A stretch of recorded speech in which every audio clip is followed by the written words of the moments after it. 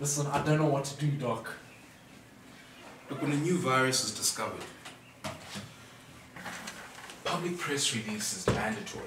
It allows people to come in for testing before the virus has infected their body.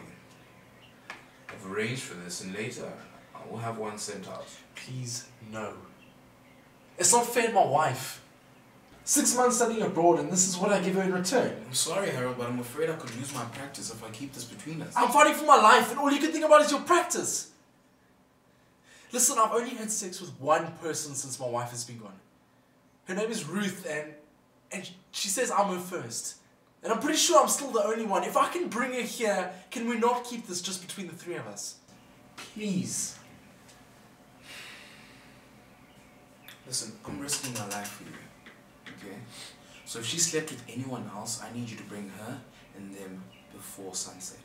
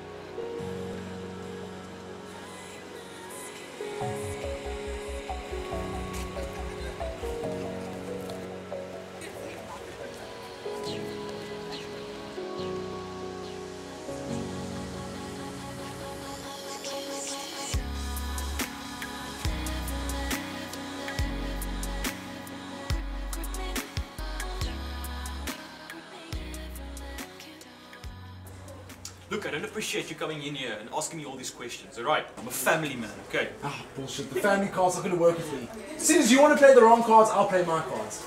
Tell me about Ruth. Ruth Kamala. I'm not sure how to investigate some cheating network that's going on in Cape Town. I'm here because I'm dying. We're dying. And I just want to save the lives of the people who might happen to join the sexual network. I just want to know how many people you may have infected.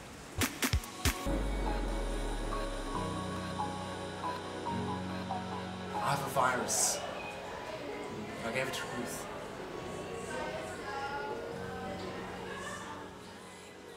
I think the real answer you're looking for is how many of these girls got grades they did not deserve. I, I have to go. to Class.